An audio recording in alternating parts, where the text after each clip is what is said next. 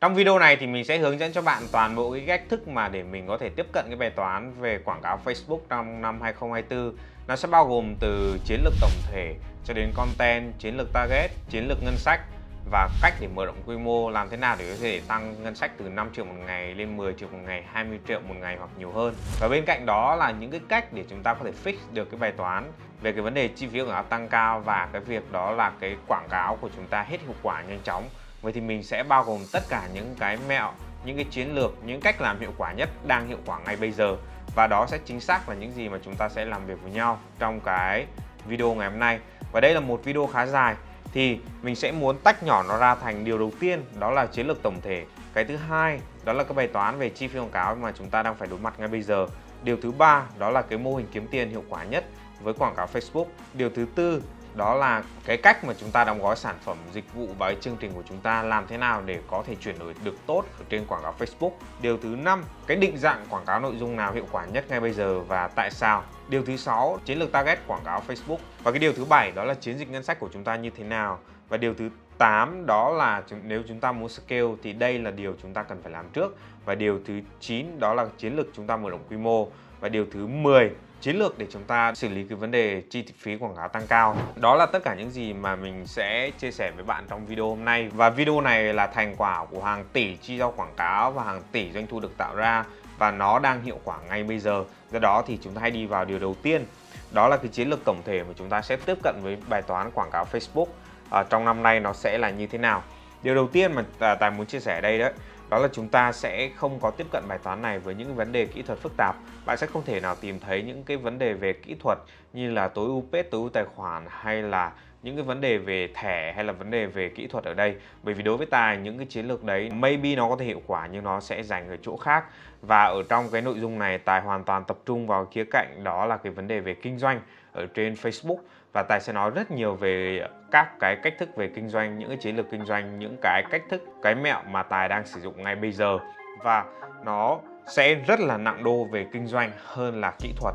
Do đó thì đấy là cái cách thức mà tài sẽ tiếp cận với bài toán quảng cáo Facebook. Đó là sẽ nặng đô về kinh doanh và rất nhẹ về kỹ thuật. Cái ví dụ ở đây đó là tài có thể chi hàng tỷ đồng với chỉ ba chiến dịch quảng cáo thôi. Đó là chiến dịch mở rộng quy mô, chiến dịch thử nghiệm và chiến dịch xử lý sự từ chối. Chỉ có ba cái nhóm chiến dịch như vậy và tài có thể chi hàng tỷ đồng quảng cáo vào đó. Do đó thì cái độ kỹ thuật của nó rất là ít.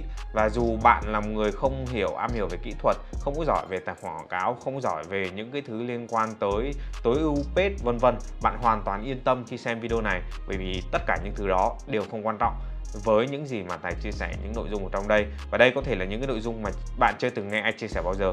Do đó thì chúng ta sẽ đi đến cái bước thứ hai luôn. Đó là cái vấn đề mà chúng ta sẽ phải đối mặt ngay bây giờ. Tại sao khi mà chúng ta tiếp cận với quảng cáo Facebook, bây giờ nó lại khó khăn hơn? Thời điểm trước rất là nhiều, bởi vì chúng ta đang đối mặt với cái vấn đề chi phí quảng cáo tăng rất là cao. Và để xử lý được triệt để vấn đề này thì Tài muốn chia sẻ với bạn cái lý do cốt lõi cái thị trường đang dịch chuyển về đâu rồi?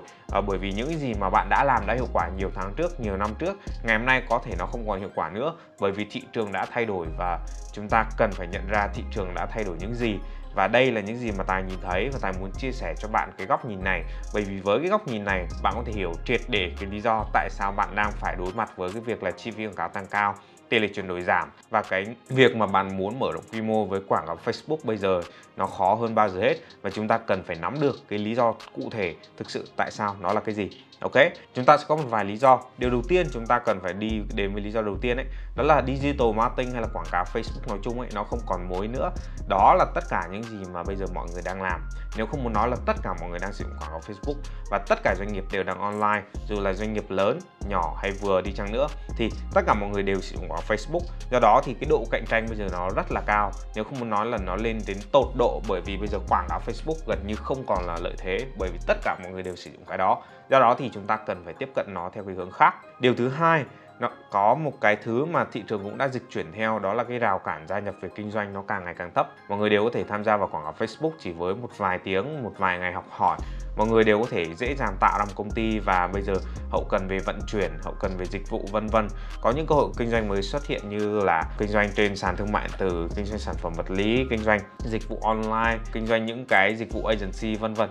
Hay nói cách khác, mọi người đều đang sử dụng quảng cáo Facebook và cái rào cản thâm nhập bây giờ rất là thấp. Bởi vì cách để sử dụng quảng cáo Facebook rất là dễ. Do đó thì ngày ngày chúng ta càng có nhiều đối thủ hơn. Dẫn đến cái việc đó là chúng ta đang ở trong cái sân chơi mà nó cạnh tranh hơn bao giờ hết và một cái điều nữa rất là quan trọng mà chúng ta đang đối mặt mà có thể rất nhiều người không để ý, đó là chúng ta đang sống trong cái nền kinh tế sáng tạo.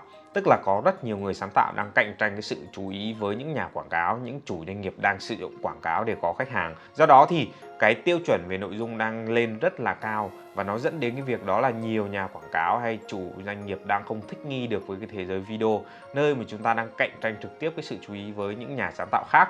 Thì nó dẫn đến cái việc đó là chất lượng nội dung của chúng ta không cao bằng họ, dẫn đến cái việc đó chi phí quảng cáo của chúng ta càng tăng hơn, cao hơn do cái việc đó là khách hàng không xem video quảng cáo của chúng ta. Bởi vì họ nhận ra ngay video của chúng ta là quảng cáo. Bởi vì chất lượng của chúng ta không thể nào so sánh bằng cái những người sáng tạo được. Và cái thứ tư, đó là cái việc mà chúng ta sống trong cái nền kinh tế bí mật, nơi mà rất nhiều người sẵn sàng chia sẻ bí mật của họ.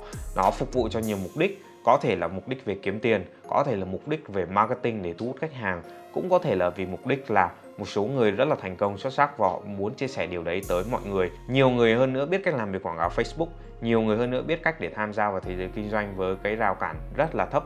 Và cái việc là cái kiến thức, cái kỹ năng được tiếp cận một cách rất là dễ dàng, do đó thì nó làm cho mọi thứ nó còn dễ hơn nữa so với trước đây. Ví dụ như là À, trước đây khi mà họ có vốn nhưng mà họ không biết làm thế nào thì họ ờ, nhiều người cũng sẽ rất là rén rất là sợ khi tham gia vào thế giới kinh doanh. Nhưng bây giờ họ vừa có vốn họ vừa có kiến thức và kỹ năng nữa. Do đó thì khi mà tham gia nó sẽ dễ dàng hơn rất là nhiều. Do đó thì đó là một trong những lý do rất là quan trọng. Và cái điều cuối cùng ở đây đó là chúng ta sống trong một cái mô hình quảng cáo mà Facebook nó gọi là chúng ta quảng cáo đấu giá cạnh tranh với những người khác. Tất cả những lý do ở trên khiến cho việc những cái đối thủ khác tham gia rất dễ. Và chúng ta đang cạnh tranh trực tiếp, chúng ta đang đấu giá với người khác để được hiển thị lên quảng cáo Facebook. Bạn có thể hiểu đó là Facebook có thể là tăng giá quảng cáo của chúng ta mà không nói rằng là họ đang tăng giá. Bởi vì rõ ràng là chúng ta đang trả tiền để hiển thị một cái lượt khách hàng tiềm năng cùng với một người khác. Và do đó cái giá của chúng ta tăng lên là bởi vì ai đó sẵn sàng chi trả nhiều tiền hơn. Do đó thì cái việc này nó giống như kiểu là một cái cách mà để chúng ta tăng giá mà chúng ta không có nói tăng giá. Bạn có thể hiểu, ví dụ đơn giản này, nếu chúng ta tăng giá sản phẩm cho ta lên 20% 50% 100% thì khách hàng có thể chửi bới chúng ta, khách hàng có thể không mua, khách hàng có thể mua từ người khác. Nhưng Facebook có thể làm điều đấy và mọi người vẫn đang mua quảng cáo rất là nhiều. Nếu không muốn nói ở đây, đó là gì? Một sự thật phũ phàng đó là nếu bạn không có tiền để mua, nếu bạn không có tiền để trả, ai đó khác sẽ trả tiền dùm bạn và họ vẫn có thể chiến thắng trò chơi này. Do đó thì sự lựa chọn duy nhất của chúng ta là nếu chúng ta muốn sử dụng quảng cáo Facebook, chúng ta phải học cách để vượt lên trên toàn bộ phần còn lại với những cách tiếp cận kỳ lạ, hiệu quả mà không ở đâu bất cứ nói với chúng ta. Hay nói cách khác đó là gì? Chúng ta cần phải rèn luyện những bộ kỹ năng để kể cả khi là những người khác muốn thâm nhập vào thị trường của chúng ta, họ cũng không làm được do đó thì cái giải pháp để chúng ta có thể đối mặt với cái việc mà thị trường dịch chuyển như bây giờ chi phí quảng cáo tăng như bây giờ ấy, đó là chúng ta phải kiếm tiền theo cách khác. Và đó chính xác là cái bước thứ ba mà chúng ta sẽ làm việc với nhau ở đây. Đó là cái mô hình kiếm tiền hiệu quả ở trên Facebook ngay bây giờ.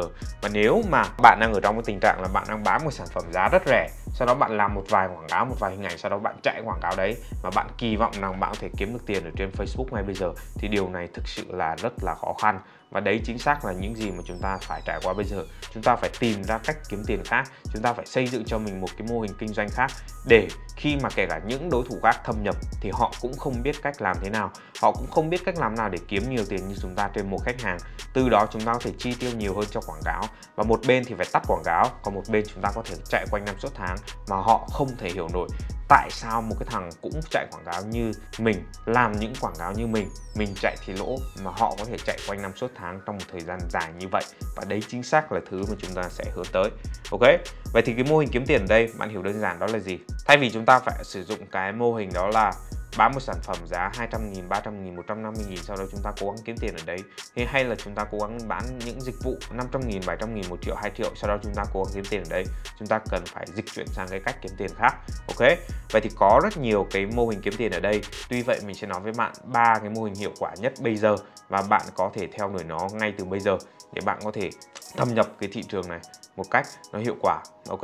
Và cái mô hình đầu tiên đó là mô hình danh mục sản phẩm bán chạy dù bạn đang kinh doanh sản phẩm vật lý, dịch vụ hay là cái gì đi chăng nữa, chúng ta sẽ cần phải phân biệt rõ ra hai cái như thế này. Có những cái nhóm sản phẩm, đó gọi là những nhóm sản phẩm rất dễ để chúng ta tiếp thị và rất dễ để chúng ta bán trên đại trà. Đó là bởi vì bản thân sản phẩm đấy rất hấp dẫn, rất là cuốn hút và rất để dễ để làm quảng cáo để thu hút khách hàng mới. Nhưng có những sản phẩm mà chúng ta có thể có được rất nhiều lợi nhuận ở trên đó, nhưng chúng ta rất khó để làm quảng cáo cho nó và chúng ta rất khó để có thể là tiếp thị nó một cách hiệu quả.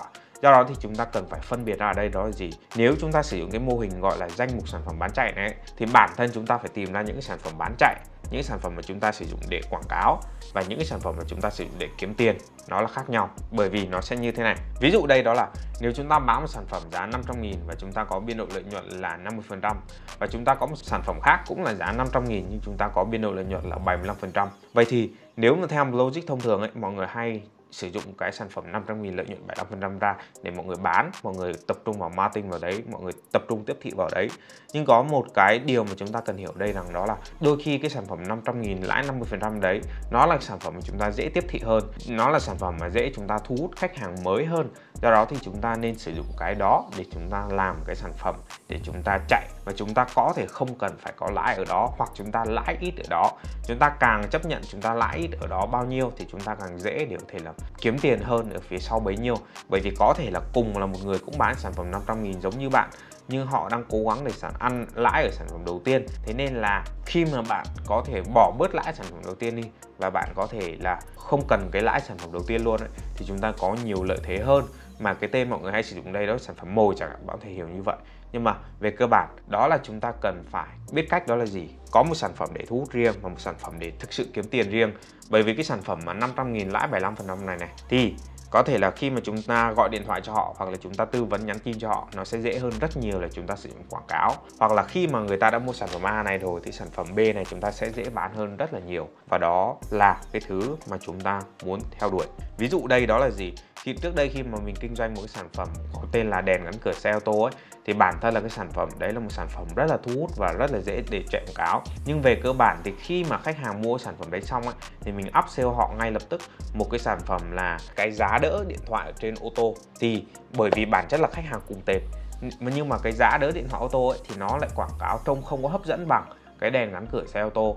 Nhưng về cơ bản thì cái giá đỡ đấy lại cái biên độ lợi nhuận rất là cao rất rất là cao do đó thì khi mà họ mua cái đèn gắn cửa xe ô tô thì mình ngay lập tức có thể mình gấp đôi lợi nhuận với cùng một sản phẩm như vậy mặc dù là cái bộ đèn xe ô tô là giá 500 nghìn và cái giá đỡ thì cái giá chỉ có khoảng 200 nghìn thôi.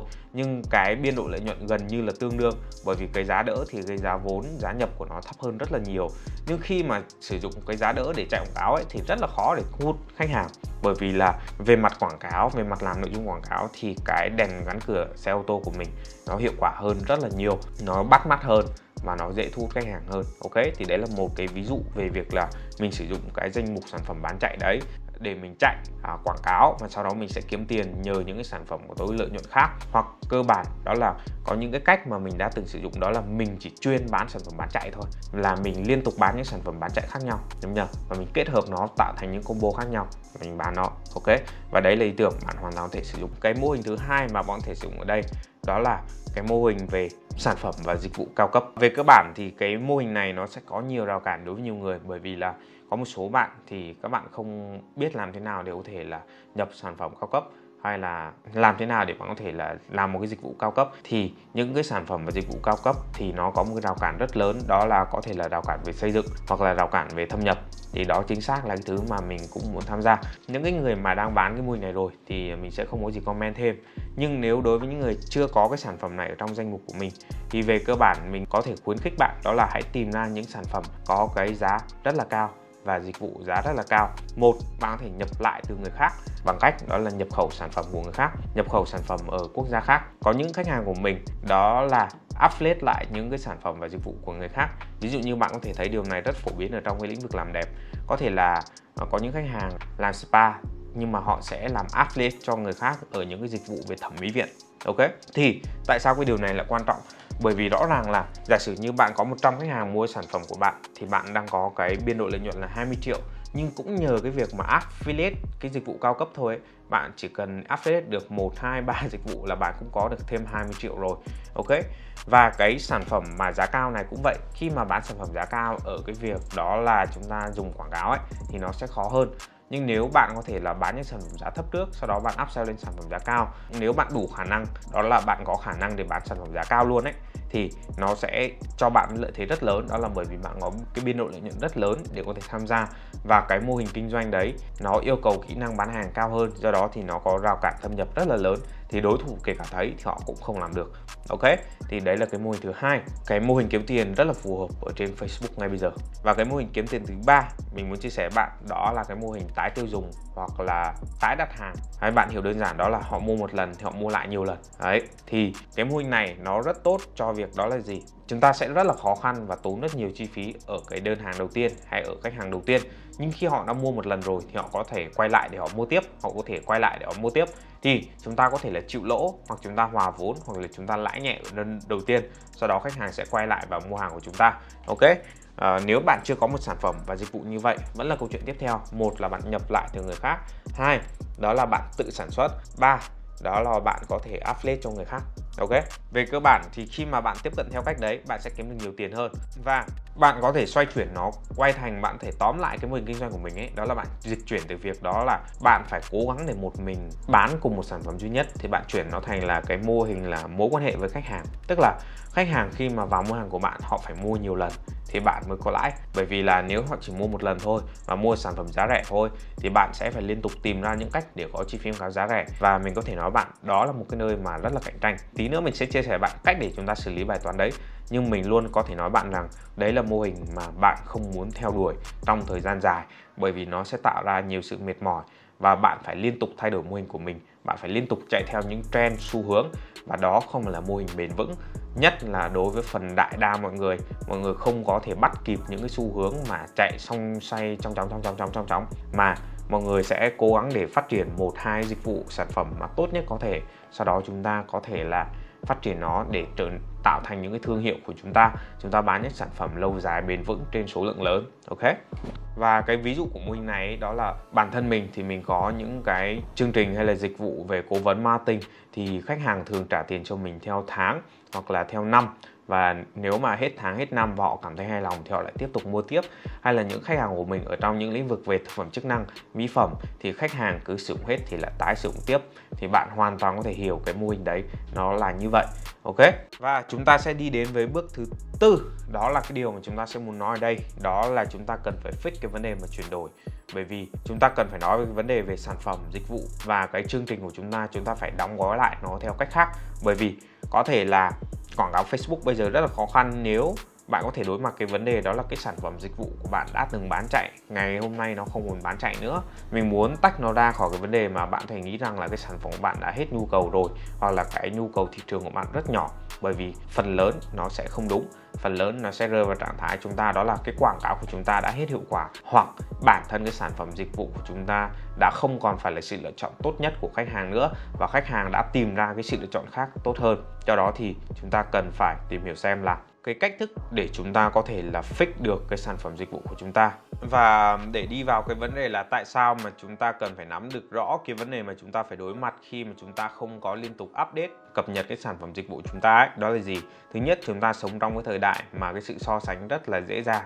Đó là điều đầu tiên chúng ta cần phải đối mặt. Khách hàng có thể thấy một quảng cáo chúng ta và có thể bay lên shopee, google, youtube, tiktok để tìm hiểu chúng ta là ai, tìm hiểu xem có ai đang bán những sản phẩm tương tự hay không. Nếu không muốn nói là khách hàng chỉ mất một vài giây để biết xem là cái sản phẩm dịch vụ của chúng ta nó có phải là thứ tốt nhất hay không. Cái thứ hai là chúng ta sống trong cái thời đại mà nền tảng rất ưu tiên cho người dùng. Có thể tìm hiểu xem ai là sự lựa chọn tối ưu nhất. Hay nói cách khác, có một định dạng quảng cáo đang hoạt động ngay bây giờ đó là quảng cáo khám phá. Tức là khi mà khách hàng tìm thấy một cái sản phẩm và dịch vụ thì họ sẽ được đề xuất những sản phẩm và dịch vụ tương tự của người khác. Nếu bạn bán dịch vụ thì người ta sẽ đề xuất những cái dịch vụ của người khác. Dù là bạn đang quảng cáo trên Facebook hay là TikTok hay là gì đi chăng nữa, nó đều đang hoạt động theo kiểu như vậy. Ok? Thì đấy là cái thứ mà chúng ta phải đối mặt. Do đó thì cái sức mạnh của người dùng nó ngày càng lớn. Đó là họ có thể dễ dàng tìm kiếm ra những thông tin có lợi về cho họ và những nhà bán hàng, những nhà quảng cáo, những chủ doanh nghiệp đang cung cấp những dịch vụ. Nếu chúng ta đang không cung cấp những dịch vụ và sản phẩm tốt nhất, thì có thể chúng ta sẽ gặp vấn đề. Ok? Vậy thì cái giải pháp đây là gì? Điều đầu tiên chúng ta cần phải cập nhật sản phẩm nhanh hơn. Cái sản phẩm đã, chúng ta đã tạo ra 6 tháng trước hiệu quả. Thì 6 tháng rồi hiệu quả, thì không có nghĩa là ngày hôm nay nó có hiệu quả. Bởi vì ngày hôm nay, như đã nói, chúng ta sẽ phải đối mặt với vấn đề đó là những cái đối thủ đang tham gia thị trường của chúng ta một cách rất là nhanh chóng. Do đó thì khi mà họ đã tham gia sau ấy, thì thường họ cũng là người đã tìm hiểu chúng ta trước. Và khi họ là người đã tìm hiểu chúng ta trước họ sẽ liên tục có một cái quy trình để nghiên cứu sản phẩm đó là gì? Đối thủ này đang làm tốt cái này chúng ta có thể làm tốt cái này hơn. Đối thủ này đang làm chưa tốt cái này chúng ta có thể là bổ sung cái này vào. Ok? Thì tức là bạn luôn là cái tham chiếu cho người tham gia sau vào thị trường. Và họ sẽ luôn là người tìm hiểu xem cái sản phẩm dịch vụ của bạn có gì đấy chưa tốt để họ có thể làm tốt hơn.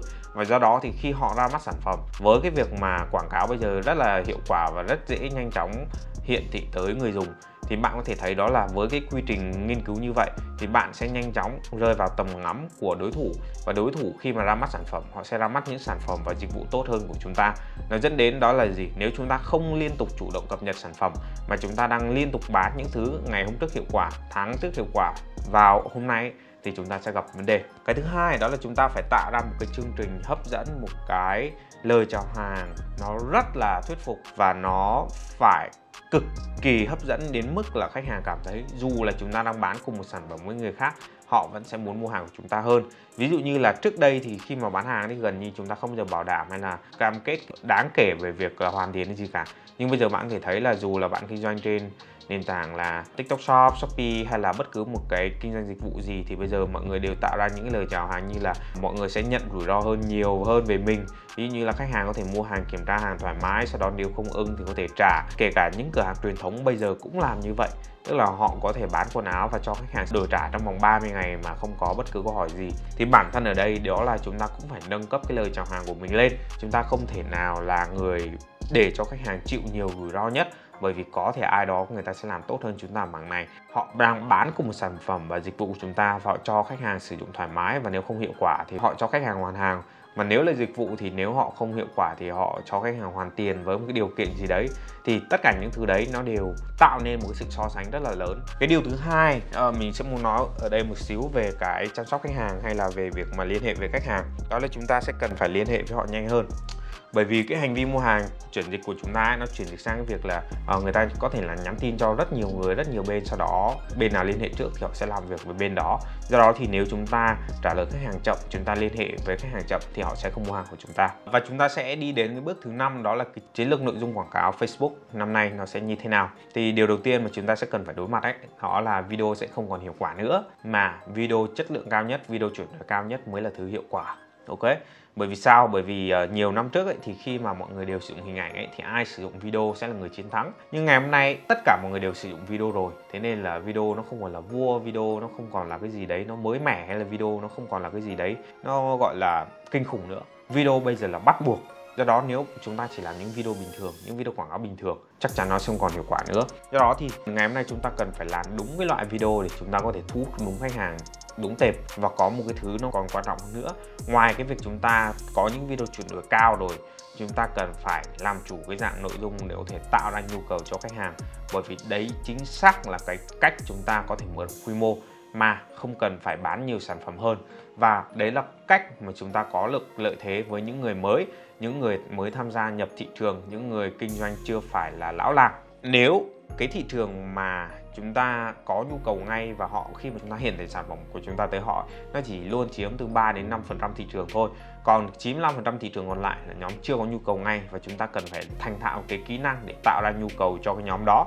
Thì video tạo ra nhu cầu là một trong cái thể loại bắt buộc để chúng ta có thể là liên tục tạo ra nhu cầu cho thị trường, chuyển đổi họ. Dù là ngày lẫn đêm 24 giờ mỗi ngày 7 ngày mỗi tuần để chúng ta có thể vượt trội lên trên với đối thủ. Đó là những người chỉ sử dụng video quảng cáo bình thường, những người chỉ sử dụng video để nói về sản phẩm của họ tốt như thế nào, dịch vụ của họ ok ra sao, tính năng lợi ích gì của họ hơn đối thủ và giá cả của họ ok như thế nào so với người khác. Thì tất cả những nội dung đấy có hiệu quả không? Có, nhưng nó có hiệu quả trên quy mô lớn không? Không, bởi vì đa phần khách hàng còn không biết là tại sao họ cần sản phẩm dịch vụ của chúng ta. Do đó thì cái việc mà để họ cần thiết phải hiểu cái sản phẩm dịch vụ đấy, đó là không cần, đúng nhỉ? Và đây cũng chính xác là cái thứ mà trước đây khi mà mới bắt đầu kinh doanh ấy thì tài không nhận ra. Và khi mà tài chạy quảng cáo và tại sử dụng cái việc đó là chạy quảng cáo mà gọi là hình ảnh, bài viết đó, thì lúc mới chạy thì cũng ra cái việc đó là số điện thoại, tin nhắn, rồi đơn hàng, một vài đơn hàng sau này thì khi mà dùng video ấy, thì nó hiệu quả hơn rất là nhiều. Nhưng đến một cái lúc nữa mà tại sao mà khi mà tài chạy quảng cáo 5 triệu một ngày thì nó lãi 2 3 triệu 5 triệu mà khi tài chẳng cáo 10 triệu một ngày 20 triệu một ngày thì có khi nó hòa vốn hoặc lỗ luôn. Đó là bởi vì tài không nhận ra rằng là tài đang tiếp cận tới những nhóm người nó lạnh lẽo hơn nó sắt đá hơn nó đa nghi hơn.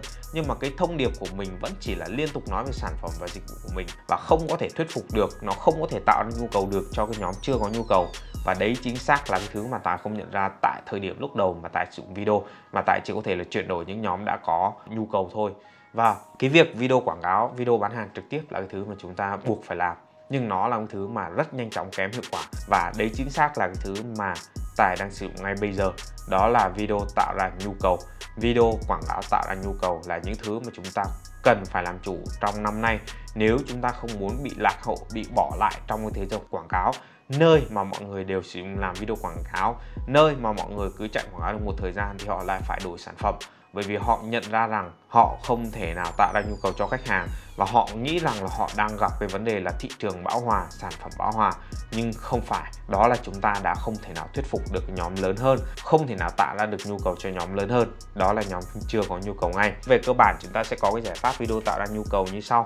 Thì về cơ bản, chúng ta sẽ tạo ra nhu cầu bằng việc đó là chúng ta trao giá trị và giá trị đây nó có thể dưới dạng đó là chúng ta giáo dục cho khách hàng hiểu một cái điều gì đấy, một cách làm gì đấy, hoặc chúng ta giải trí cho họ. Do đó thì bạn cũng có thể thấy đó là một, những cái bên bán hàng giỏi nhất, bán được nhiều nhất thường là những bên có thể vừa làm khách hàng vui, vừa có thể bán hàng ở trong đó. Và mình thì không phải là người giỏi theo cái khía cạnh đấy. Do đó thì thường đó là mình sẽ tạo ra nhu cầu cho khách hàng bằng việc là giáo dục và trao giá trị cho khách hàng theo dạng đó là giáo dục thị trường. Đó là đi từ việc là họ đang có vấn đề và mình tạo ra nhu cầu cho họ bằng cách đó là mình giúp cho họ giải quyết vấn đề đó và mình tạo ra nhu cầu cho việc để họ giải quyết vấn đề đó thì họ cần phải sử dụng sản phẩm dịch vụ của mình. Và mình đi từ cái khía cạnh như vậy ok? Ví dụ đây đó là một khách hàng của tài là chị Mỹ Liên kinh doanh trong lĩnh vực là dịch vụ giảm cân. Thì khi mà lần đầu tiên mà tiếp cận với những cái nhóm video tạo ra nhu cầu ấy thì chỉ trong tháng đầu tiên thôi thì chị bán được 13 khách hàng trong lĩnh vực à, giảm cân. Và đấy là một cái con số mà chị không tưởng khi mà chị bắt đầu với việc mà online. Bởi vì là chị không ngờ rằng là chỉ một vài video thôi mà chị có thể sử dụng nếu có thể là tham gia vào những, vào những ờ, cái lĩnh vực mà có thể rất là cạnh tranh như là dịch vụ giảm cân và có thể tạo ra nhu cầu cho khách hàng của họ chuyển đổi họ thành đơn hàng giá cao cho cái dịch vụ của mình. Hay là bản thân tài khi mà mà bán những cái dịch vụ những chương trình liên quan tới marketing hoặc là tuyển dụng cho doanh nghiệp ấy thì tài cũng liên tục sử dụng những video quảng cáo tạo ra nhu cầu. Theo dạng đó là chia sẻ giá trị sau đó tài mới chia sẻ cái sản phẩm và dịch vụ của mình ví dụ như đây đó thì cái thời gian vừa rồi tài tạo ra rất rất rất rất nhiều cái video quảng cáo khác nhau. Tài nói về vấn đề về uh, tại sao một cái khách hàng khi mà tham gia vào cái quy trình bán hàng của mình thì chuẩn của mình lại thấp này. À, tài chia sẻ về vấn đề đó là cái chi phí quảng cáo cao thì làm như thế nào này. Và tài nói về việc đó là làm thế nào để xây dựng đội ngũ à, làm nội dung quảng cáo, đội ngũ marketing nội bộ này? Đấy, thì khi mà chia sẻ với những điều đấy, thì về mặt cơ bản, đó là tài chia sẻ giá trị cho khách hàng trước, sau đó tài mới kêu gọi khách hàng để lại thông tin để liên hệ với tài và đặt lịch với đội ngũ tư vấn, đúng nhỉ? Thì đấy là cách thức mà tài có thể làm. Tuy vậy thì nếu đối nghịch lại cách đấy thì tài hoàn toàn có thể là giới thiệu trực tiếp sản phẩm dịch vụ của mình cho khách hàng. Nhưng về cơ bản tài đã không làm như vậy bởi vì rõ ràng ở đây, nếu mà tài làm như vậy thì nó sẽ không có hiệu quả trên quy mô lớn, nó chỉ hiệu quả trong một số nhóm người nhất định đang có nhu cầu rồi thôi. Ok, và nếu bạn đang muốn xây dựng cho mình một cái hệ thống video tạo ra nhu cầu để thu hút khách hàng đúng tệp này, chuyển đổi họ thành khách hàng và mở rộng quy mô doanh nghiệp của mình ấy, và để nhận cái khóa học này miễn phí thì bạn có thể truy cập vào tạo danh.vn sẹt video nhé. Ok, và chúng ta sẽ đi đến với bước thứ sáu, đó là chúng ta đi đến với chiến lược target hay là chiến lược nhắm mục tiêu khách hàng và đây có thể là một thứ rất nhiều người quan tâm bởi vì um, chúng ta sẽ luôn muốn cái quảng cáo của chúng ta cái sản phẩm dịch vụ của chúng ta được hiển thị trước đúng tệp khách hàng mà chúng ta mong muốn ok Vậy thì điều đầu tiên mà chúng ta sẽ cần phải đối mặt ở đây đó là những kỹ thuật quảng cáo ngày hôm nay nó không hỗ trợ được gì nữa cả. Đấy là tin xấu. Ok. Và tin vui đó là gì? Ngày hôm nay target quảng cáo nó hiệu quả hơn rất nhiều nếu chúng ta biết cách để tiếp cận nó và đó là thứ chúng ta sẽ sử dụng ngày hôm nay. Đó là chúng ta sẽ target hay nhắm mục tiêu tới khách hàng thông qua cái việc đó là tạo ra nội dung đúng tệp dành cho nhóm đấy. Ok? Trước khi đi đến với điều đấy thì chúng ta cần phải hiểu là tại sao nó lại như vậy. Đó là bởi vì ngày hôm nay thì TikTok, cái thuật toán của TikTok là thuật toán mà phổ biến nhất mà tất cả mạng xã hội sử dụng. Và ngay kể cả Facebook vẫn đang sử dụng cái đấy. Bởi vì TikTok nó đã ra đời và nó tạo ra một thứ nó gọi là Tab for you, hay là dành riêng cho bạn hay nói cách khác, đó là những cái nội dung dành riêng cho bạn. Và nó được target dựa trên cái việc đó là bạn hứng thú, bạn thích thú những cái nội dung video đấy tới đâu. Trên tiktok ấy, bạn có thể thấy là người ta không cần bất cứ thông tin gì của bạn bạn chỉ cần lướt một vài cái thôi thì nó sẽ đề xuất ra đâu là video bạn yêu thích, đâu là video bạn thích xem. Và bạn chỉ cần lướt một thời gian khoảng 30 phút thôi thì nó sẽ biết, bắt đầu biết hành vi của bạn và bạn thích thú cái gì. Và người ta cứ liên tục gửi cho bạn những nội dung như vậy, bạn xem trên đấy và bạn xem xem xem xem cho đến ngày qua đêm, ngày qua đêm, cho đến khi bạn không có nhận ra thời gian nữa bởi vì nó biết bạn thích cái gì nó biết bạn hứng thú với cái điều gì. Và về quảng cáo ngày hôm nay nó cũng tương tự như vậy. Cái thứ mà chúng ta muốn tránh ở đây đó là chúng ta không muốn sử dụng những cái thứ mà tài gọi đó là quảng cáo những cái thời TV đó là chúng ta cố gắng nhét một thông điệp cho tất cả mọi người. Bởi vì khi mà TV phát ấy, thì nó hiện quảng cáo cho tất cả mọi người. Và đấy là thứ mà chúng ta không muốn làm đối với nội dung quảng cáo hay là với cái chiến lược uh, target của chúng ta. Đó là chúng ta cần phải tách nhỏ nội dung của chúng ta ra và chúng ta gọi nó là for you quảng cáo hay là quảng cáo for you. Đại loại đây đó là cho một cái nhóm khách hàng cụ thể cho một nhóm người cụ thể và chúng ta target họ dựa trên nội dung mà chúng ta làm. Chứ không phải là những cái target kỹ thuật như là à, sở thích à, rồi à, à, target người giàu ở đâu hay là cái gì đấy. Tất cả những thứ đấy nó không hiệu quả nữa. Nếu chúng ta muốn target tới người giàu chúng ta phải nói chuyện với những cái gì mà họ đang nghĩ trong tâm trí của họ trong cái đầu óc của người giàu họ đang gặp vấn đề gì, họ đang coi trọng điều gì và chúng ta nói chuyện theo cách đó. Và cái việc ở đây đó là chúng ta cần phải chia nhỏ cái quảng cáo của chúng ta ra và cá nhân hóa dành riêng cho những nhóm người nhỏ thì auto tự động chúng ta sẽ tiếp cận tới nhóm người đấy, ok? Vậy thì ví dụ đây đó là gì ví dụ như là đối với cái quảng cáo về cái sản phẩm đèn xe của tài thì khi mà tài muốn quảng cáo tới những cái xe sang ấy thì tài đưa ra những cái nội dung quảng cáo dành cho xe Mercedes trước, xe Lexus trước, xe Audi trước. Còn nếu mà tài muốn quảng cáo tới những cái hãng xe mà nhiều người biết hơn, ví dụ như Toyota, Honda các thứ thì tài đưa ra những nội dung về những cái quảng cáo đấy lên trước, đúng không nhỉ? thì chúng ta có thể tiếp cận tới những nhóm người đấy dễ hơn. Và chính những cái chủ xe đang có những án xe đấy, họ sẽ chú ý vào đấy bởi vì họ thấy họ ở trong đấy. Ok, thì đấy là ví dụ đầu tiên về sản phẩm vật lý. Cái thứ hai là nếu chúng ta bán những sản phẩm liên quan tới dịch vụ hoặc là chương trình online, ví dụ như là của tài chẳng hạn, thì tài làm rất rõ nội dung cho việc đó là dành cho những nhóm người thứ nhất. Đó, tài biết rằng là khách hàng của tài thường là những người có thể có đội ngũ bán hàng chẳng hạn, thì tài làm riêng nội dung dành riêng cho những người có đội ngũ bán hàng. Cái thứ hai đó là khách hàng của tài thường là những người người đang muốn chi tiêu rất nhiều cái ngân sách quảng cáo chẳng hạn thì tài làm cái nội dung liên quan tới tăng tiền ngân sách quảng cáo như thế nào? Cái thứ ba đó là khách hàng của tài có thể là những người mà đang muốn bắt đầu khởi sự công việc kinh doanh hoặc là khi mà họ đang chi quảng cáo thì họ đến một cái mức nào đó thì họ không có biết làm nào để tăng ngân sách quảng cáo nữa. Thì tài làm những nội dung liên quan tới chủ đề đó. Thì bản thân khi mà tài tìm hiểu và am hiểu về khách hàng của mình ấy, thì tài có thể làm những nội dung tương tự như vậy và bạn hoàn toàn cũng có thể làm như vậy. Ví dụ như là ở đây, nếu mà bạn đang kinh doanh tới những dịch vụ giảm cân chẳng hạn, thì bạn hoàn toàn có thể chia nhỏ ra. Đó là gì? Một cái người mẹ sau sinh muốn giảm cân, nó sẽ khác với một người muốn giảm cân để có thể là có em bé hay là một người muốn giảm cân để có thể có cơ hình săn chắc hơn, sáu múi, vân vân. Thì tất cả những nội dung đấy, chúng ta cần phải tách nhỏ riêng ra thành riêng cho những đối tượng khác nhau. Chứ chúng ta không gom nội dung lại thì chúng ta làm trong một video quảng cáo. Và đấy là thứ chúng ta nên tránh. Ok, ngay từ đầu. Và cái thứ tiếp theo mà chúng ta sẽ muốn tiếp cận ở đây, đó là cái chiến lược về ngân sách quảng cáo của chúng ta sẽ như thế nào. Và cái thứ đầu tiên chúng ta sẽ muốn nói đây, đó là ngân sách cố định nó sẽ không còn hiệu quả nữa. Thì tại sao? Tại phát hiện ra rằng là chúng ta sử dụng ngân sách chiến dịch nó sẽ hiệu quả hơn.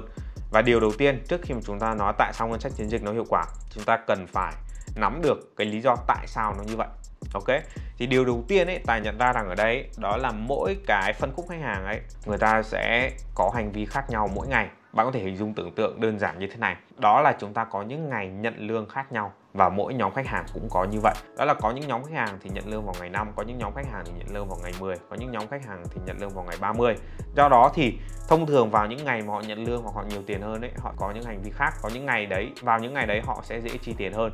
Và về bản thân chúng ta, nếu chúng ta để ngân sách cố định cho từng một cái nhóm quảng cáo là ví dụ 500 nghìn một ngày chẳng hạn, thì đáng ra có những ngày là Facebook biết rằng là cái nhóm quảng cáo đấy chỉ nên chi tiêu 100 nghìn thôi. Bởi vì cái hành vi của nhóm đấy, ngày đấy nó sẽ không mua hàng nhiều thì chúng ta vẫn để 500.000 một ngày thì người ta sẽ chi 500.000 cho toàn bộ nhóm đấy.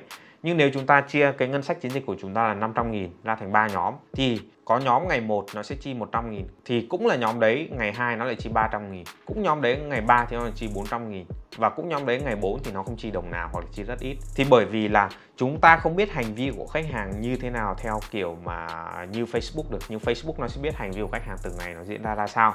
Do đó thì cái việc là chúng ta không nên để ngân sách cố định và chúng ta chuyển sang ngân sách chiến dịch và chúng ta để cho Facebook tự chi tiêu cái số tiền của chúng ta một cách hiệu quả nhất. Bởi vì họ sẽ biết là cái tệp khách hàng của chúng ta mỗi ngày nó sẽ cư xử như thế nào. Ok. Và cái ví dụ đây chúng ta có một vài cái lưu ý thôi. Đó là khi mà chúng ta thử nghiệm ấy à, ta gọi là cái chiến dịch thử nghiệm ấy thì chúng ta cũng nên cài đặt ngân sách tối thiểu. Ví dụ như là chúng ta muốn test ba nội dung khác nhau. Chúng ta muốn tìm xem content nào hiệu quả ấy nội dung nào hiệu quả ấy, thì chúng ta sẽ xét ba nhóm quảng cáo.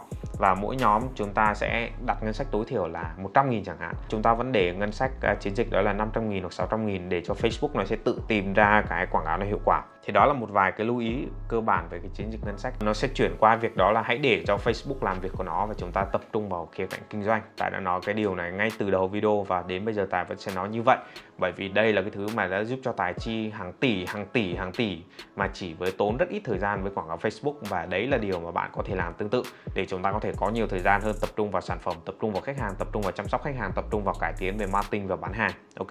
Nó không phải là tất cả những thứ này và mãi mãi không phải là tất cả những thứ này. Bây giờ là thời đại của AI nó sẽ càng ngày càng tiến bộ hơn và chúng ta sẽ càng ngày càng ít thời gian hơn đối với những thứ này. Ok? Cái bước thứ 8 đó là chúng ta muốn mở rộng quy mô thì chúng ta phải làm cái điều này trước đó là tối ưu ok? Nhưng mà tối ưu cho cái gì? Bởi vì cái vấn đề đây chúng ta không muốn là nó là à, tối ưu để mọi thứ tốt hơn chúng ta không làm như vậy. Chúng ta cần biết chúng ta tối ưu cụ thể cho điều gì và chúng ta không tối ưu cho các chỉ số phù phiếm đó là điều mà chúng ta muốn ok?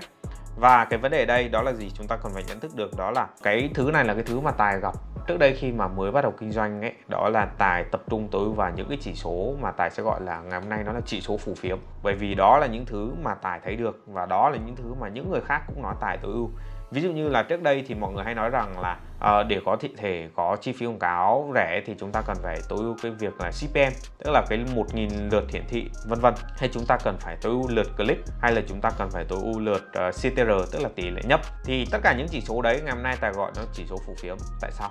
Bởi vì nếu khi mà chúng ta cố gắng để giảm CPM ấy, nó giống như kiểu là chúng ta đang thuê nhà ở quận 1 quận nội uh, nội thành để chúng ta bán hàng nhưng chúng ta lại cố gắng để đưa nó ra thành ngoại thành để chúng ta bán ấy trong khi cái sản phẩm của chúng ta rất là đắt và chúng ta chỉ phù hợp với những người có điều kiện tài chính thôi, thì chúng ta lại cố gắng để giảm CPM thì đấy, lý do mà rất nhiều người cố gắng để giảm CPM bằng cách là người ta đổi target, người ta đổi content, người ta, thay vì người ta làm video thì người ta làm hình ảnh. Thì đấy chính xác là lý do mà chúng ta có tỷ lệ chuyển đổi rất thấp, bởi vì chúng ta đang sử dụng công cụ rất là yếu và chúng ta rõ ràng là chúng ta không thể nào bán được hàng cho những người cao cấp hơn bởi vì chúng ta đang tối ưu cho sai thứ ok? Cái thứ hai uh, tối ưu tỷ lệ nhấp chẳng hạn. Chúng ta hoàn toàn có thể thay đổi cái sản phẩm chúng ta thành hình ảnh con mèo chúng ta sẽ có tỷ lệ nhấp cao vút trời và chúng ta vẫn không bán được hàng ok? Thì đấy là những cái thứ mà chúng ta sẽ không nên tập trung vào. Và chúng ta sẽ, giải pháp chúng ta ở đây là gì? Chúng ta sẽ tối ưu cho công việc kinh doanh của mình, những chỉ số về kinh doanh, chứ nó không phải là chỉ số về nền tảng. Do đó thì chúng ta tối ưu những chỉ số quan trọng và chúng ta tối ưu những hệ thống. Ví dụ chỉ số quan trọng là gì? Chúng ta bỏ một đồng vào, chúng ta lấy được 3 đồng ra, chúng ta chi một triệu cho cả chúng ta lấy được 5 triệu doanh thu về ok, đấy là những chỉ số mà chúng ta quan tâm, đúng nhỉ đấy duy nhất là những chỉ số chúng ta quan tâm. Vậy thì câu hỏi đây bạn có thể đặt ra là, ok, tôi biết điều đấy rất hay, nhưng chúng ta cần phải tối ưu cái gì? Vậy thì đây là những gì mà chúng ta cần phải tối ưu này, là tối ưu toàn bộ hệ thống. Và đây là tất cả những gì mà tài làm. Điều đầu tiên chúng ta cần phải tối ưu đó là chúng ta tối ưu cái nội dung của chúng ta. Ok, cái này thêm một lần nữa lại rất chung chung và nó, chúng ta không đủ thời gian để làm điều này. Để làm điều này, ta có thể làm hẳn một video với đồ dạy tương tự để chỉ nói về điều này. Do đó thì chúng ta sẽ nói qua một vài thứ nhé.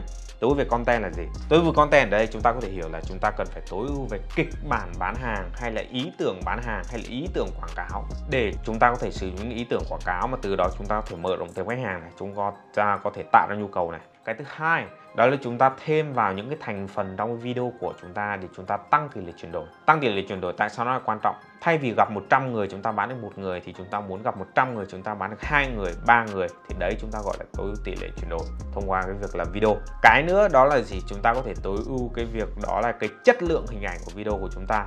Bởi vì khi chúng ta tối ưu chất lượng hình ảnh của video của chúng ta thì cái video của chúng ta dễ dàng có nhiều lượt xem hơn bởi vì trông chất lượng nó cao hơn và nó cũng giống một cái video mà một người sáng tạo nội dung làm hơn thì chúng ta có thể thu hút được nhiều người hơn ok? Và đấy là tất cả những cái chỉ số mà nó không có hiện lên trình quản lý quảng cáo, mà nó nằm ở trong cái việc là kỹ năng của chúng ta. Vậy thì câu chuyện đây chúng ta cần phải thay đổi cái mindset ở đây. Nó không phải là chúng ta đã làm video chưa, chúng ta đã làm video quảng cáo chưa, mà chúng ta làm tốt, nó tốt tới đâu. Chúng ta đổi thành cái việc đó là à tôi đã làm video quảng cáo rồi nó thành là tôi đã làm video quảng cáo được 5 điểm rồi và chúng ta còn 5 điểm đây hoặc là chúng ta còn nhiều hơn nữa chúng ta có thể nâng cấp hơn nữa nâng cấp hơn nữa nâng cấp hơn nữa chúng ta luôn có thể làm tốt hơn vậy thì cái quảng cáo 5 điểm của chúng ta có thể có giúp cho chúng ta có chi phí đơn hàng là 100 nghìn nhưng quảng cáo 6 điểm nó có thể giúp cho chúng ta có chi phí quảng cáo là 90 nghìn quảng cáo 10 điểm 7 điểm 8 điểm có thể giúp cho chúng ta có chi phí quảng cáo là 50 nghìn ok thì đấy là cái điều chúng ta muốn nhắm vào cái thứ hai điều tương tự đó là chúng ta muốn nhắm vào kịch bản bán hàng của chúng ta giả sử như chúng ta có một cái kịch bản bán hàng mà chúng ta cứ có 100 data chúng ta bán được 5 người thì cách để giảm một nửa chi phí quảng cáo ấy đó là chúng ta thay vì có 100 data chúng ta bán được 5 người thì chúng ta có 100 data chúng ta bán được 10 người chúng ta vừa giảm được chi, một nửa chi phí quảng cáo và chúng ta vừa gấp đôi doanh thu ok thì đấy là những thứ rất rất rất rất là mạnh mẽ ok mà chúng ta nên tập trung vào đấy được chưa nhỉ? Cái thứ ba chúng ta sẽ tập trung vào cải thiện về mô hình kiếm tiền và mô hình kinh doanh của chúng ta như mình đã nói, nếu bạn chỉ đang kinh doanh ở trong những sản phẩm giá thấp và bạn đang cố gắng để kiếm tiền từ sản phẩm đầu tiên, chúng ta sẽ gặp khó khăn ở thời điểm bây giờ và ở thời điểm tương lai. Mình có thể đảm bảo điều đấy với bạn. Trừ khi bạn đang bán một sản phẩm rất tốt, cực kỳ chuyển đổi và họ có thể mua đi mua lại, hoặc bạn cố gắng để giữ cho quy mô của nó nhỏ thì nó sẽ hiệu quả. Ok, mình không nói cái điều này để dọa bạn, mình nói với bạn sự thật dựa trên kiểm chứng với phần lớn mọi người mà mình đã tư vấn và giúp đỡ ở đây, đó là để fix được triệt để bài toán về quảng cáo. Nó không phải đến từ content, nó không phải đến từ quảng cáo, nó không phải đến từ chiến lược target, mà nó đến từ mô hình kinh doanh của chúng ta. Nếu muốn nói một câu về điều mình học được về marketing ấy, đó là gì? Có một người có tên là Dan Kennedy đã từng nói với mình một điều như thế này. Marketing xuất sắc không thể nào cứu nổi một bài toán lợi nhuận yếu kém. Và đấy chính xác là cái thứ mà mình tập trung vào. Chúng ta muốn có một cái bài toán lợi nhuận tốt, một cái mô hình kinh doanh tốt để khi mà chúng ta làm marketing tốt đấy cái, cái mô hình của chúng ta sẽ tự chạy theo ok?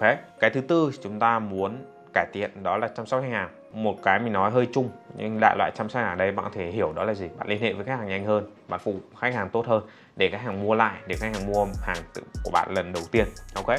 Và cái nữa chúng ta có thể tối ưu đó là về offer đó là cái lời chào hàng của chúng ta đó là chúng ta có nhiều đảm bảo hơn cho khách hàng chúng ta nhận nhiều rủi ro hơn về phía mình thì bạn sẽ có một cái chương trình một cái ưu đãi một dịch vụ một sản phẩm tốt hơn thị trường.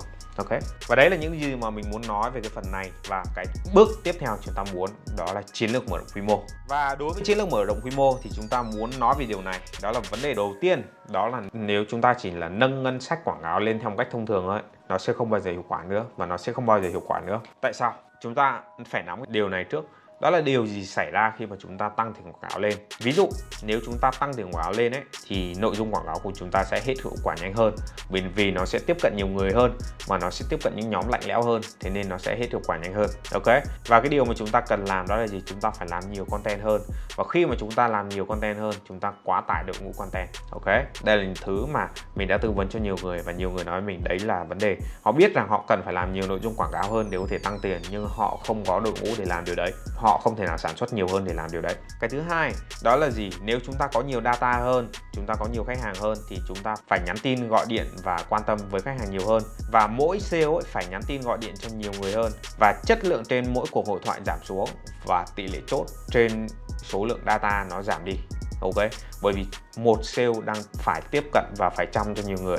Do đó thì cái điều mà chúng ta cần nhận thấy tiếp theo đó là khi mà chúng ta tăng tiền lên thì chúng ta cần nhiều đội ngũ bán hàng hơn, cần nhiều nhân viên bán hàng hơn và khi mà chúng ta cần nhiều người nhân viên bán hàng hơn ấy thì chúng ta cần nhiều CV hơn ứng tuyển vào công ty của mình và khi mà chúng ta cần nhiều CV hơn ấy thì chúng ta cần nhận nhiều người hơn và chúng ta cần đào tạo nhiều hơn và khi mà chúng ta đào tạo nhiều hơn và chúng ta đang chưa có văn hóa chúng ta chưa có một cái bộ máy để quản lý ấy thì chúng ta sẽ có tỷ lệ nghỉ việc rất là cao ok và đấy là vấn đề chúng ta sẽ gặp cái nữa mà chúng ta sẽ gặp ấy, đó là khi mà chúng ta tăng tiền lên chúng ta sẽ gặp nhiều tiếng khách hàng lạnh lẽo hơn thì sản phẩm chúng ta chuyển đổi kém hơn thì thông điệp quảng cáo của chúng ta yếu và không có thuyết phục được cái nhóm quy mô lớn đấy và tất cả những điều trên ấy, nó dẫn đến một cái điều rất quan trọng, đó là cái vận hành cái mô hình cái công ty của chúng ta bị quá tải, bởi vì chúng ta cần nhiều tồn kho hoặc là người triển khai dịch vụ hơn cho khách hàng và chúng ta quá tải khâu vận hành.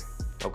Và điều cuối cùng, đó là chúng ta sẽ, dòng tiền của chúng ta sẽ bị quá tải bởi vì chúng ta chi cho quảng cáo nhiều hơn, chúng ta cần chi cho nhiều hàng tồn kho hơn, chúng ta cần chi cho chi phí tuyển dụng đào tạo nhân sự tăng lên nếu chúng ta là công ty dịch vụ và nó dễ gãy dòng tiền và thất thoát. Ok?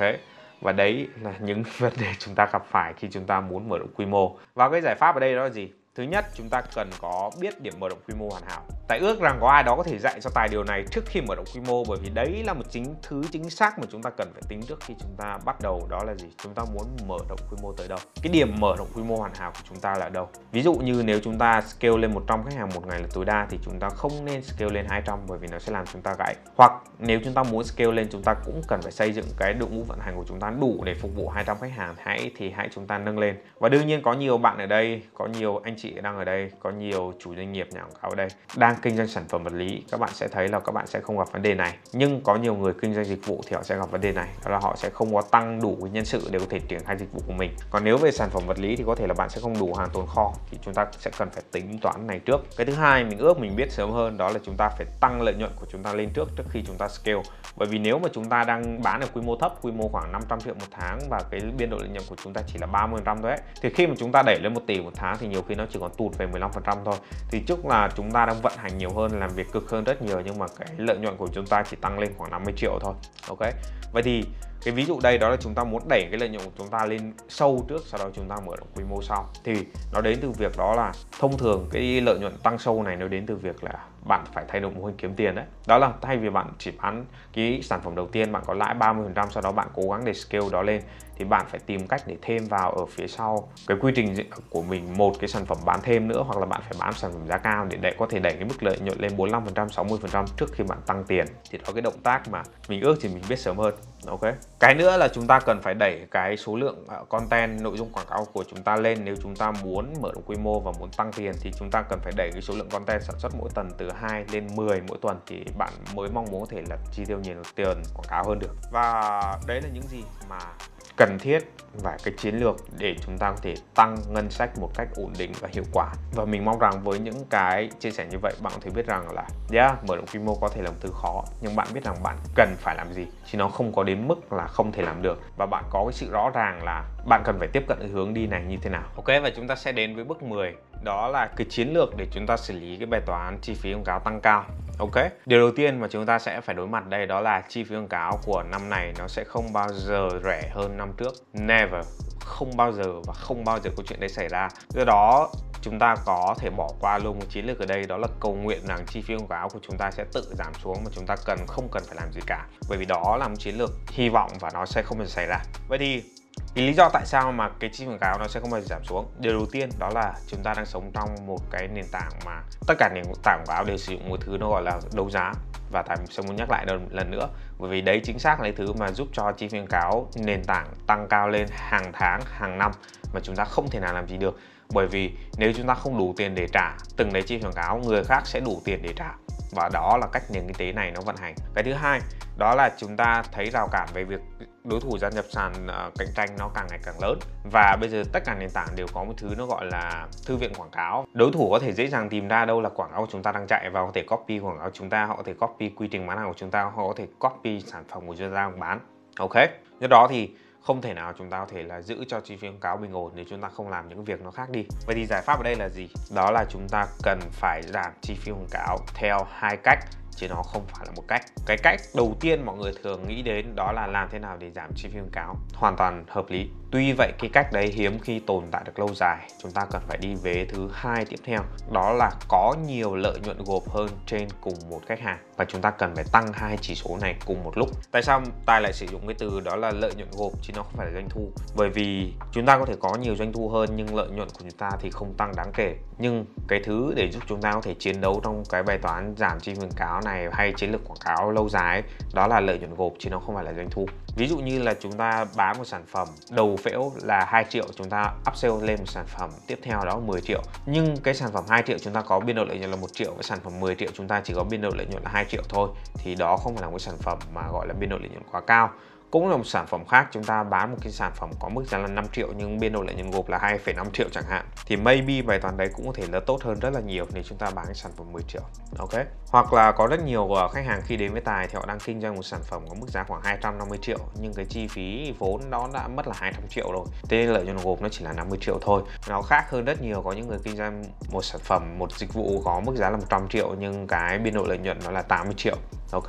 Nó sẽ tốt hơn rất là nhiều. Vậy thì đấy là cái góc nhìn mà tài muốn bổ sung ở đây để anh chị hay là các bạn có thể là tham khảo. Vậy thì điều đầu tiên chúng ta sẽ có những cách nào để chúng ta có thể giảm chi phí quảng cáo hoặc chúng ta có thể chi tiêu quảng cáo ngân sách một cáo một khách hợp lý. Điều đầu tiên đó là như chúng ta áp dụng tất cả những cách vừa trên mà tài chia sẻ, đó là về việc đó là tăng tỷ lệ chuyển đổi lên. Thì khi mà chúng ta tăng tỷ lệ chuyển đổi lên thì chúng ta thể, có thể giảm chi phí quảng cáo. Ví dụ như là nếu chúng ta gặp 100 người, chúng ta bán được một đơn thì chi phí quảng cáo chúng ta là 100 nghìn. Thì bây giờ chúng ta có thể gặp 100 người và chúng ta bán được hai đơn thì chi phí quảng cáo của chúng ta là 50 nghìn ok? Nhưng chúng ta không thể nào tăng tỷ lệ chuyển đổi mãi đến một cái mức nào đó mà chúng ta cũng không thể nào tăng được nữa. Ví dụ như là chúng ta gặp 100 người thì chúng ta bán được bộ tối đa 4 người là tối đa, thì cái chi phí quảng cáo của chúng ta giảm được cùng lắm là 25 nghìn. Nhưng cái vấn đề ở đây nó không xảy ra theo kiểu như vậy mãi. Đó là bởi vì khi mà chúng ta càng mở rộng quy mô lên, thì mặc dù hôm nay tỷ lệ chuyển đổi của chúng ta là 100 người, chúng ta bán được 4 người nhưng bởi vì chúng ta cứ mở rộng quy mô lên thì chúng ta lại càng gặp cái người lạnh lẽo hơn thế nên là nếu chúng ta gặp những nhóm người ấm thì chúng ta vẫn cứ gặp 100 người chúng ta bốn người nhưng nếu chúng ta gặp nhóm người lạnh thì chúng ta gặp 100 người chúng ta chỉ bán được một người thôi vậy thì uh, yeah ta biết nó hơi phức tạp nó hơi khó đó chính xác là lý do tại sao ít người có thể mở rộng quy mô được bởi vì họ không hiểu được cái sự trồng chéo họ đang đối mặt và rất nhiều cái bài toán đang chống lại chúng ta nếu chúng ta sử dụng quảng cáo do đó chúng ta cần phải rất là am hiểu những thứ này đó là lý do mà chúng ta cần phải tăng tỷ lệ chuyển đổi lên nhiều hơn nữa để chúng ta có thể chuyển được nhóm người lạnh. Cái thông điệp ngày hôm nay của bạn có thể chuyển được nhóm người ấm, không có nghĩa là người ta có thể chuyển được nhóm người lạnh. Ok? Điều đầu tiên đó là như vậy. Cái thứ hai chúng ta có thể là chuyển sang kênh bán hàng khác nếu chúng ta không thể nào chịu nổi nữa, hoặc là chuyển sang cái vị trí bán hàng khác nó có hiệu quả là chi phí hơn ví dụ như vị trí new feed nó quá là đắt đỏ thì chúng ta có thể chuyển sang vị trí là real. Nhưng về các bạn mà phải hiểu như này, đó chúng ta chuyển sang vị trí khác, chúng ta có muốn chi phí quảng cáo rẻ hơn thì chúng ta cũng đồng nghĩa việc là chúng ta bán được số lượng ít hơn bởi vì những vị trí quảng cáo đắt đỏ nhất thường là những vị trí bán được nhiều nhất. Và những vị trí rẻ nhất hiệu quả nhất về mặt chi phí lại là thường những vị trí bán được ít nhất. Ok do đó chúng ta cần phải kết hợp các vị trí quảng cáo ở trong Facebook với nhau. Đấy là lý do mà bạn nên sử dụng cái tính năng nó gọi là tự động hóa vị trí để Facebook nó sẽ tự tìm kiếm cái vị trí nào là phù hợp với bạn. Ok? Và cái nữa mà chúng ta có thể áp dụng đó là chúng ta theo đuổi những cái tính năng mới ra mắt. Bởi vì thường những cái tính năng mới ra mắt họ sẽ thường được uh, ưu tiên đề xuất risk, do đó thì cái lượt tiếp cận của chúng ta sẽ rẻ hơn. Thì đó là lý do mà bạn có thể là sử dụng những cái tính năng sắp tới có thể ra mắt và bây giờ có thể ra mắt. Và mình à, sẽ không nói cụ thể đây bởi vì được những thứ này nó thay đổi rất là chóng mặt. Nhưng hiện tại bạn có thể biết đó là tính năng ví dụ như là video trên reel chẳng hạn hay quảng cáo trên Facebook reel chẳng hạn là một thứ mới đối với Facebook thì bạn hoàn toàn thể sử dụng. Nhưng tương lai nó có thể là Facebook với dạng link à, tương lai nó có thể là gắn link với shop vân vân quảng cáo gắn link vân vân. Thì tất cả những thứ đấy đều là những tính năng mới bạn có thể sử dụng. Sau khi đã sử dụng cách đấy thì chúng ta đi đến cái bước thứ ba đó là chúng ta có cải thiện cái tỷ lệ lợi nhuận gộp trên cùng một khách hàng với chúng ta. Ví dụ như như như thế này nếu bạn bán một cái mức à, một cái khách hàng bạn có được 10 triệu doanh thu thì cái lợi nhuận mà bạn bán một sản phẩm nó là 2 triệu. Vậy thì nếu cái chi phí quảng cáo tối đa của bạn có thể là 3 triệu thì bạn luôn buộc mình phải ở trong cái dạng đó là bạn phải chi phí quảng cáo của bạn phải dưới 3 triệu thì bạn mới có lãi. Nhưng điều gì xảy ra nếu đến một lúc mà bạn đã làm hết cách rồi nhưng nó vẫn vượt lên 3 triệu thì cái thứ chúng ta cần ở đây đó là chúng ta muốn kiếm thêm lợi nhuận trên một khách hàng đấy. Thay vì một khách hàng chúng ta chỉ có thể kiếm được 2 triệu lợi nhuận thì chúng ta hãy cố gắng kiếm lên 4 triệu lợi nhuận, 6 triệu lợi nhuận. Vậy thì cách làm thế nào để chúng ta làm điều đấy? Thứ nhất đó là chúng ta kinh doanh một lần chuyển sang kinh doanh mối quan hệ. Nó đại loại đó là không quan trọng là khách hàng đấy mua một sản phẩm mà chúng ta phải cố gắng tạo ra một công việc kinh doanh để khách hàng có cái thứ khác để họ mua, hoặc họ phải quay lại để họ mua sản phẩm khác. Thì chuyển qua từ việc đó là dạng đó là một lần chuyển thành mua nhiều lần, đúng nhỉ? Vậy thì làm thế nào chúng ta làm điều đấy? Chúng ta đơn giản đó là chúng ta bám sản phẩm nó tốt hơn để khách hàng quay lại mua. Đấy là điều quan trọng, ok? Cái thứ hai chúng ta có thể đó là thêm những cái sản phẩm upsell vào đúng không? Vậy thì mình có thể chia sẻ bạn có ba loại sản phẩm upsell. Điều đầu tiên đó là bạn có thể bán một sản phẩm 10 triệu và bạn upsell một sản phẩm giá 1 triệu, 2 triệu thì bạn có thể kỳ vọng đó là gì? Có thể 30% trong 100 khách hàng đầu tiên sẽ mua. Hoặc bạn có thể bán một sản phẩm 10 triệu nhưng bạn có một cái gói sản phẩm lớn hơn là 15 triệu thì cứ 100 người khách hàng đấy thì sẽ có 80 người mua gói 10 triệu và 20 người mua gói 15 triệu ok hoặc bạn cũng có thể bán những cái gói nó lớn hơn hẳn đó là bạn sản phẩm bạn bán sản phẩm đầu tiên là 10 triệu nhưng sản phẩm tiếp theo bạn bán sẽ là 100 triệu 200 triệu. Thì bạn có thể kỳ vọng nó là 100 người mua sản phẩm. Thì có 95 người mua 10 triệu và 5 người mua 100 triệu. Nó sẽ cải thiện cái mức độ lợi nhuận gộp của bạn một cách đáng kể, ok?